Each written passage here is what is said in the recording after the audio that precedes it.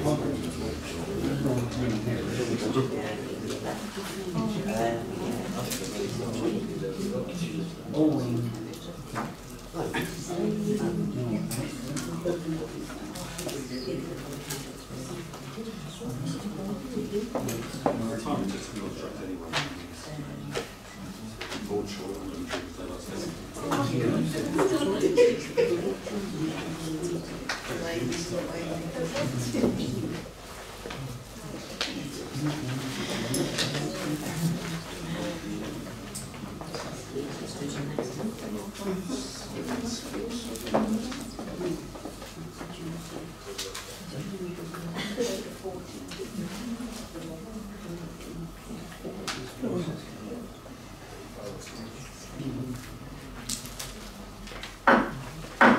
Ladies and gentlemen, I this meeting to order now.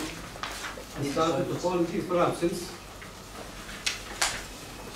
Thank you, Mr Mayor. I have received apologies from councillor Kane, who on me off, councillor Clegg, who's on holiday, and councillor Davis has not arrived. Is that acceptable? Okay. Declarations of interest. Members to invi- uh, are invited to declare disclosable pecuniary interests and other interests along with the nature of those interests in relation to any item on this agenda. Mr Mayor, can I declare an interest in item ten, section three? Uh, it's a fireworks display. Um, You're aware of my relationship with my son who uh, manager of Stanley Lens, which is represented.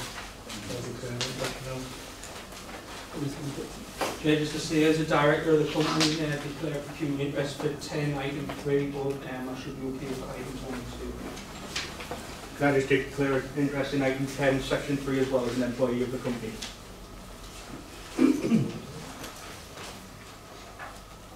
Procedure and appropriate announcements from the town mayor. Now, it is my great pleasure, even though it's in his absence, to welcome James Kane as a newly elected member to the Stanley, Stanley Hall Ward to the council. And I wish him all the luck in the future when he starts attending the meetings and contributing to all our meetings. As an extra part of this, and this is per- uh, as a mayor, or I should say as the chair of a cash-strapped council, I was seriously disappointed and disturbed that we had to spend about eight thousand pounds on a predictably wrong election. And I just need to say that we could have spent that money quite nicely in areas where it is seriously needed. Councilman, Uh, Can I ask how you think this was necessary? May I ask? Councilor Marshall? Chairman, I, I'm surprised you even him that question. It was unnecessary, because we could have done a co-option. We've used options in the past, and, uh, that's what should have happened here. So if you're willing to sit, fund the eight thousand pound from your party for calling that election, and you led the call for the election, another one went and got the paper signed, and we, it was superfluous. Because even if you got an extra member, what good was it going to do you? You wouldn't have given, had any more say in this council chamber what you would have done. And we, we would still been outvoted the same as we were by you for years. So what was the point in having an election in a, in a ward that was so strong, it's the strongest Labour ward in this town council, and you called an election? And, and did you expect to win it? Because I didn't see you working very much on it. So That, that's the answer. That's why you, you wasted eight thousand of public funds. Right, Councillor, Councillor Tully? So you would deny the people of Stanleyport Ward that their constitutional right to vote? It's, a- it's called democracy. Okay, can I make a response to that? We are not talking about uh, curbing democracy at all. Yes. Wait a minute, please, listen here. We are not talking about curbing democracy here. We are talking about what is sensible. We are a strap, a cash-strapped council. Exactly as Councillor Marshall over there said, this had no meaning. The democratic vote showed that you were entirely wrong in calling this election because the way it, James's vote so much outclassed that it was, the democratic exercise showed that you were wrong in asking for the election. But may I say, we can carry on this discussion about democracy and the election at later time, the councillors a lot of serious things to discuss as well. Okay? Okay, we'll have a discussion sometime, whenever it is convenient to, for. Any further announcement? Um, Yes, Mr Mayor, um, just to remind everybody, please set your phones to silent or switch them off. Um, we are filming the meeting, although we're not broadcasting it live. And obviously, I'm aware that someone else is filming the meeting. So a member of the public is also filming the meeting. So please bear that in mind. Is anyone else recording the meeting? Please make yourself known if you are. Is that no? Okay. Um, also, I, I believe that there's a number of people here who come in particular for item 12, which is the Louisa Morrison Memorial. Um, so, Mr Mayor, it may be advisable if council consents to move that item up the agenda and deal with that after the minutes. I move that it is moved up, but there any, any objections to that? Okay. Sorry. Second. Okay, that's fine. Now, now, I'm asking for any public participation, anything the public needs to say about anything that is happening on the agenda today. There's two hands up there, three hands up. So John Caulfield, is that you, Billy? And gentleman over there, sorry. Simpson and Simpson. Okay. There's four people then, is it? John Jack Hare. Jack Hare. Jack Right, so there's four people. So may I say that we allow fifteen minutes for public participation? So I might have to curb you, each of you to about three minutes of speaking each so that we can hear all of you. May I ask the gentleman in the back, please? Yes, please. Good evening, everybody. I'm John Caulfield, uh, part of the Road Safety Initiative in Stanley. Um, last meeting, that sta- full Stanley Town Council meeting, I brought to the council about um, John Olathorn, who basically runs the um, Speed Watch Initiative in Stanley. And there was a bit of con- controversy over him being attending a meeting which was for Projects and Initiative Committee on Tuesday, the 18th of July. Um, when I come to the meeting, it was said to me and in, the, in this room that John was not actually invited to the meeting. I've got his email here and I've got copies for members saying that he was invited.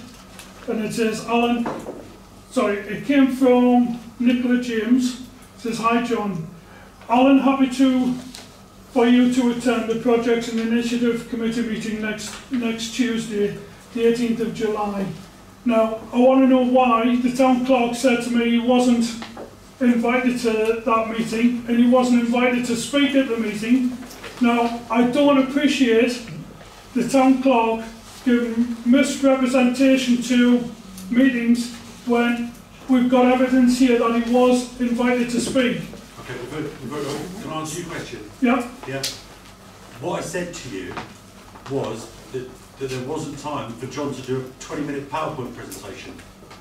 Quite happy for John to come to the meeting, and we had other partners who came to the meeting and provided you know, some information, a piece of paper, a report, a brief update. John wanted to do a 20 minute presentation, which the chairman, who was Councillor Palace, said we didn't have time for.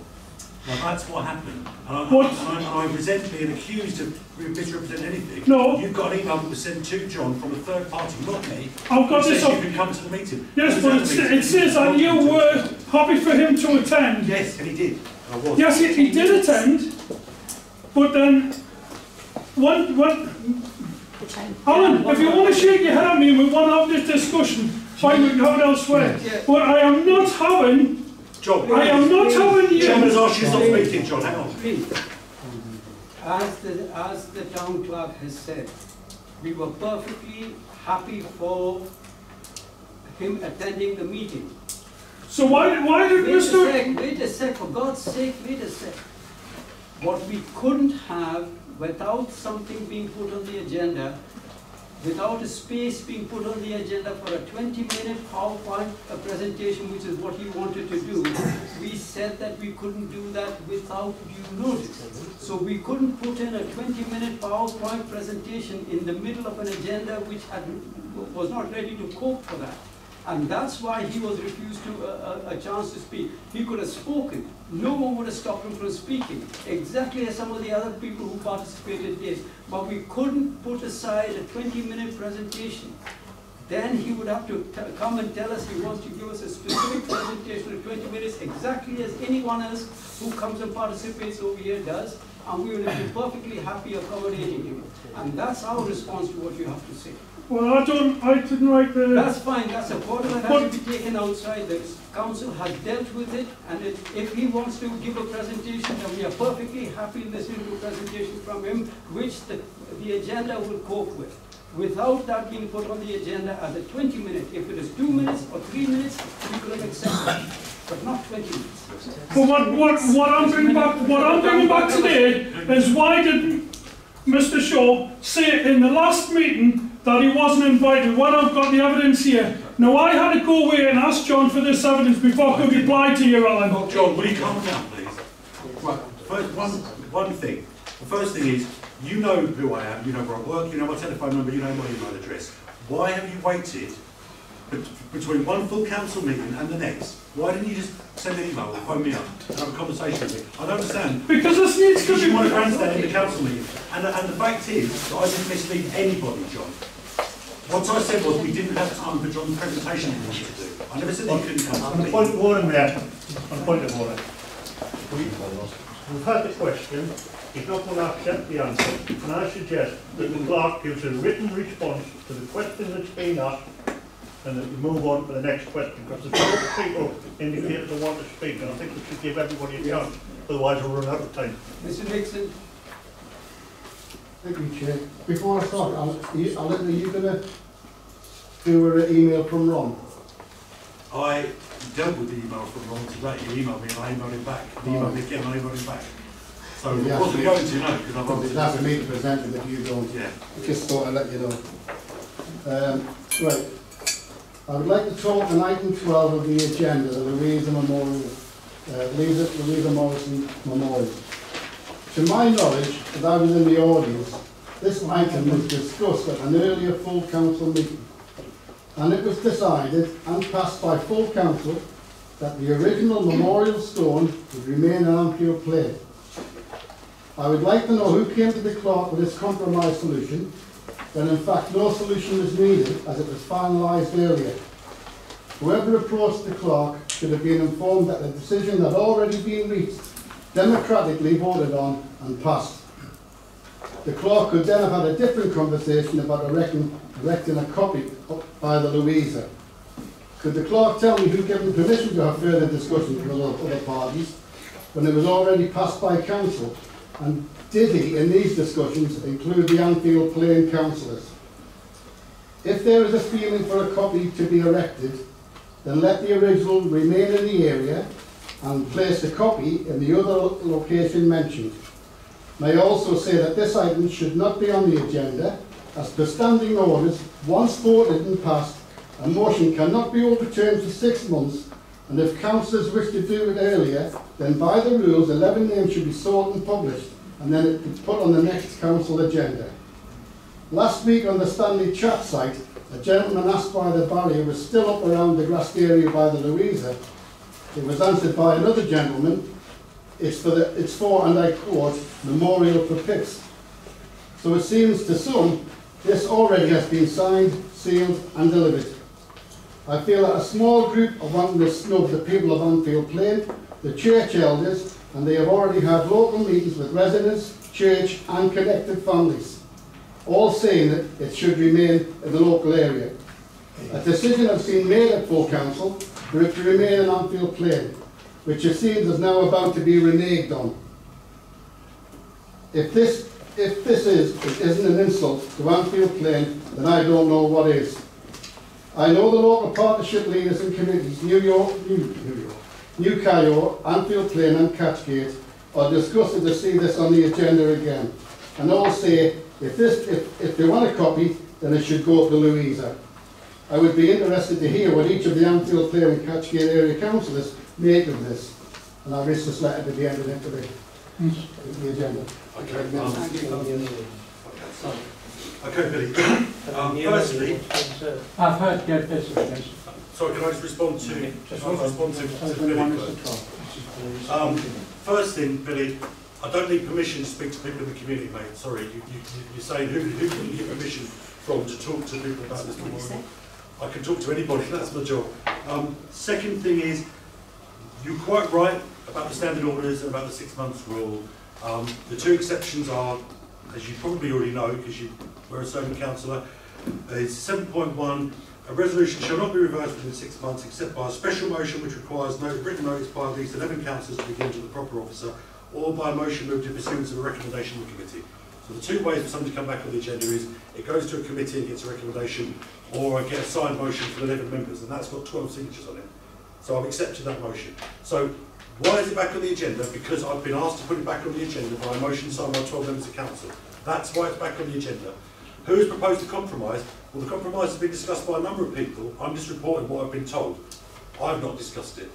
Um, so, you know, the item is on, it's on the agenda for discussion, and I imagine there will be a full and frank discussion when it's dealt with. May I reply back to you on, Uh, just for a second? Chairman. One second. No, Because I- that's not the procedure. that is- You, you ask a question, you get an answer, and then that's it. Can And, and it, Can it's take now, the fifteen minutes, it's No, been no, allotted no. to this Yeah, second. because It's I- finished, and I I've think we should allow people to members speak of, for the- that. other members of the Sit down, Marshall. There's a couple of things that's concerning me. We've had two people turn up at a council meeting here and make accusations, serious accusations, about our head of paid service. And it's absolutely disgusting. Excuse me, You what's the turn up here in a public forum chair Excuse and me, what's the these attacks accusation? in a public Please, meeting. have some peace in the This corner. is a, this is Go a on. political body. Point of order, Why? point of order, Chair. I'm being accused of something. I would like to, Sorry, I'd like to. Mr reply Mayor, if this gentleman Listen. won't shut up, then there's only one option that you have. And, and I'll move that motion if it's not careful. He's asked his question now, he No. must remain quiet. while I've been voting accused of something. Please, please.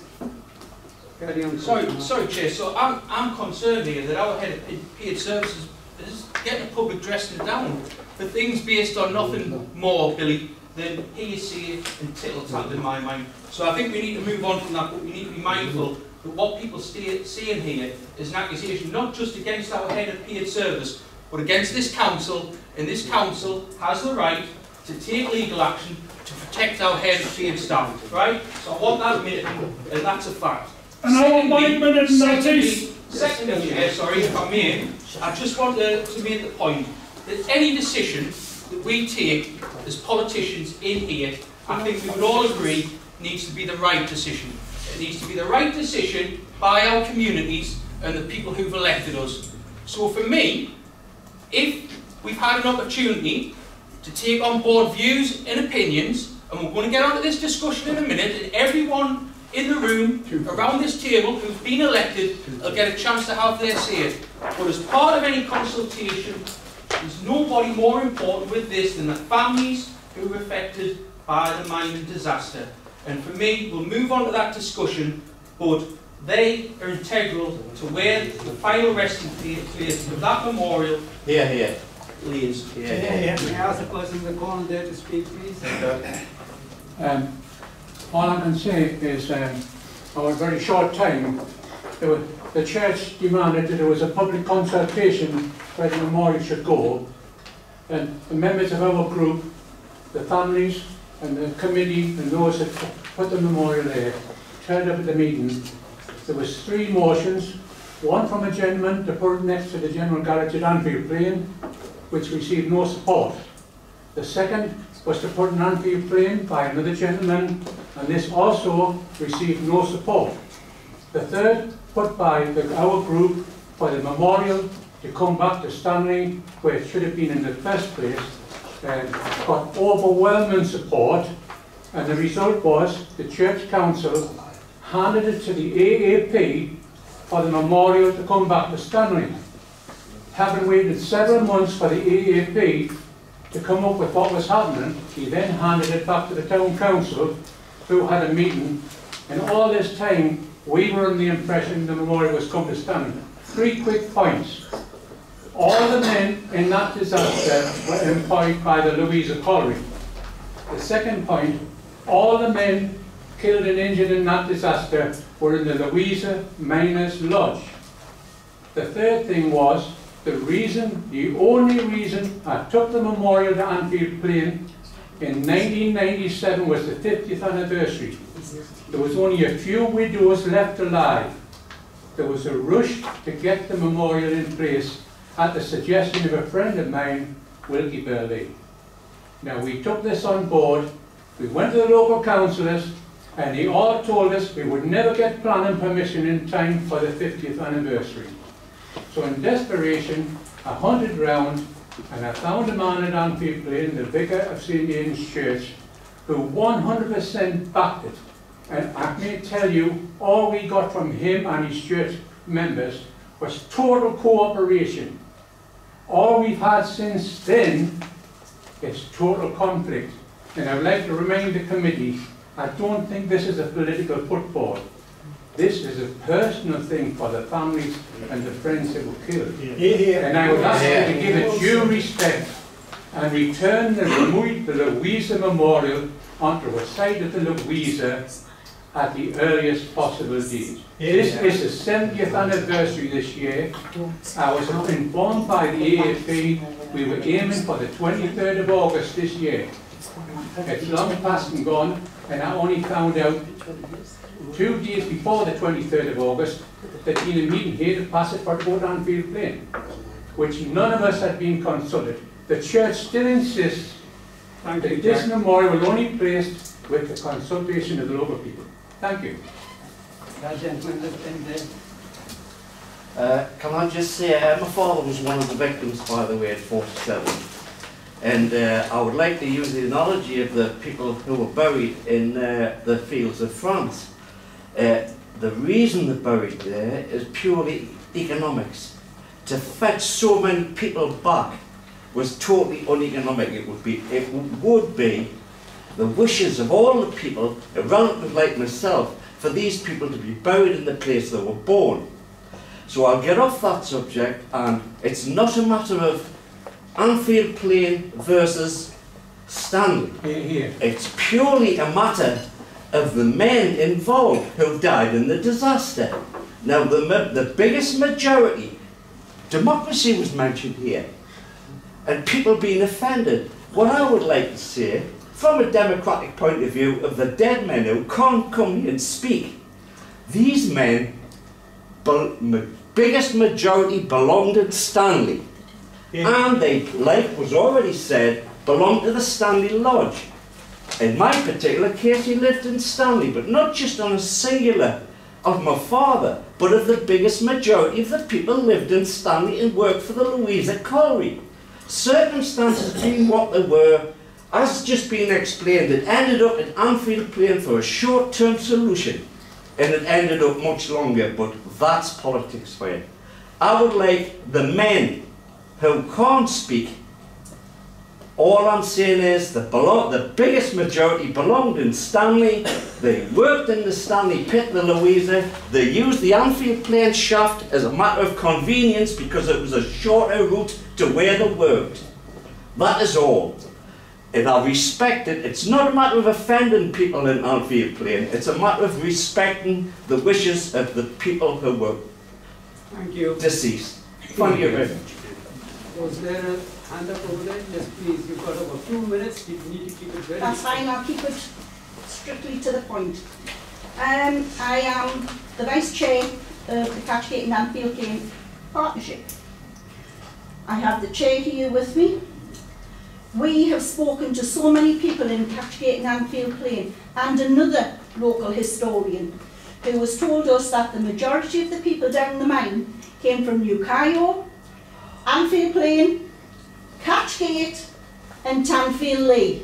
Now if that doesn't give these people the right to keep their thing, then why on earth and it wasn't a short-term solution either. It was there because nobody else wanted it. Thank We you. want it, so we would like to keep it. Thank you. Thank you. Close that part of the uh, meeting. And I'll go on to item five, which is confirmation of council minutes. To approve of the current record and sign the minutes of the twenty-seventh of July, two thousand seventeen, ordinary council meeting. It is on attachment A. Does anyone move it? Seconded, please. Seconded, please. Those agreed? Uh, Mr Mayor, there is an error on the agenda, I apologise. It, it says that the minutes of 27th July, they're about 25th, but the minutes themselves are correct. Okay, my mistake, twenty-fifth of July. My mistake, not yours. You know what, well done.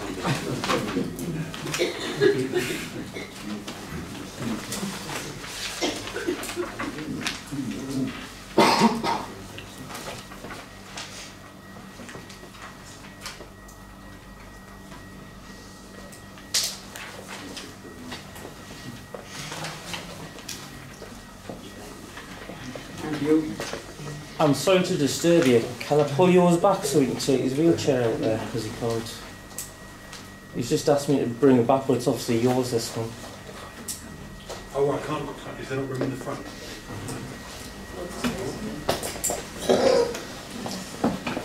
Will you make room for the gentleman's face?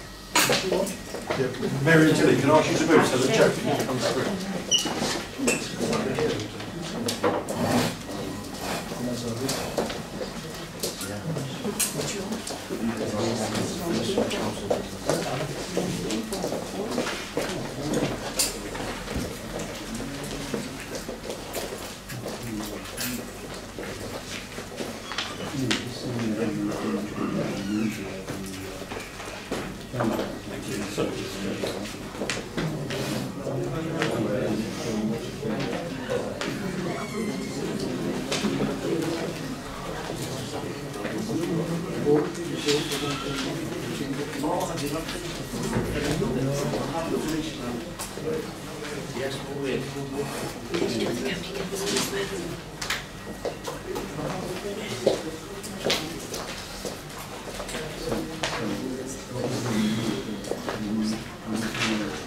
Okay, now we have take num- item number six, which is the minutes of the other meeting. To receive the minutes, to receive the minutes of the uh, 12th of September uh, meeting on the Projects and Initiatives Committee. That's attachment B. Sorry about that. Just a bit quiet, you can all sit down there. The attachment B. Sorry about that. Would anyone move that as a two record, please? Okay, Okay, we just receiving it. I like to move for receipt those minutes. A Christie second. Stevenson, no Jerusalem. Yeah. Okay.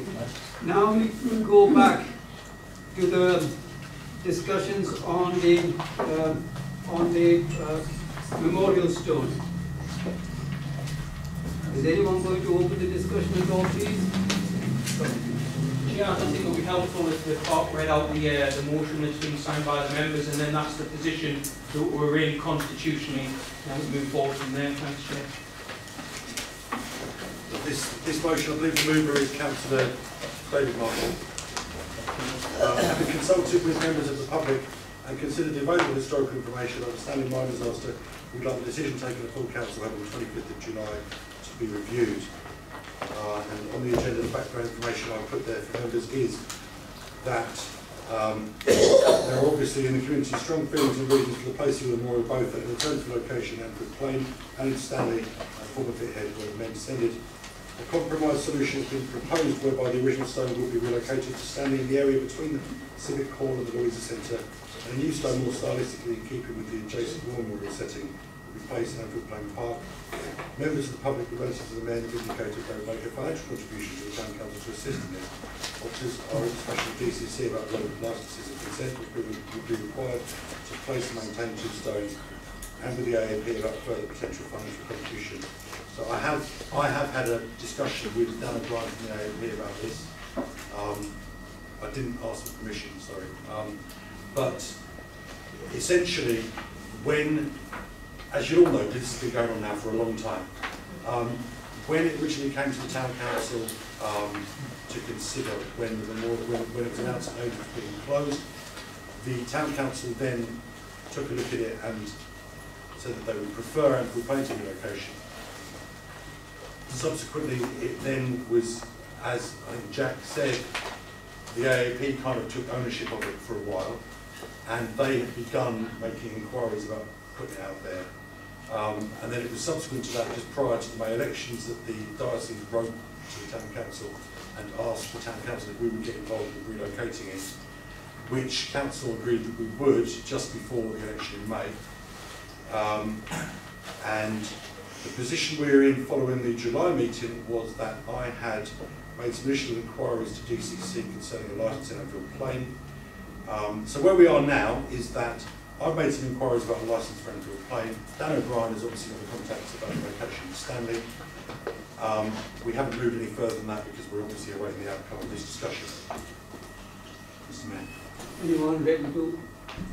As, Mr Mayor, as uh, rule of the motion, we took a decision following the discussion and it came to light that we didn't have all the information that was available and some of it was a bit flawed because nobody had spoken to the relatives. That was the big problem. And we took a decision not knowing what their feelings are. Um, and we didn't also take into account a report that was done by Jack Hare on the Louisa Colliery Disaster Memorial. Now, Jack not only does that, we also wrote a book called Coal in the Blood. It tells you all about the disaster, it tells you all about the different ones that's happened round about. So, nobody's challenged that book, nobody's challenged this report, but we didn't have the right kind of information. And we took a, a decision that I'm sorry, but it was flawed. Uh, and so what we need to do is to recognise what, what the people, the relatives of the families want. And what they want Exactly. is to be brought to the Louisa where all the, as Jack Hare said, the the mine is one part of the Louisa all, I'm not going to go over that again. As well. They, they all worked and went down from this area, that they were brought out in other areas, doesn't matter. And I think it's important that we don't, we're making this into political football, and it shouldn't be.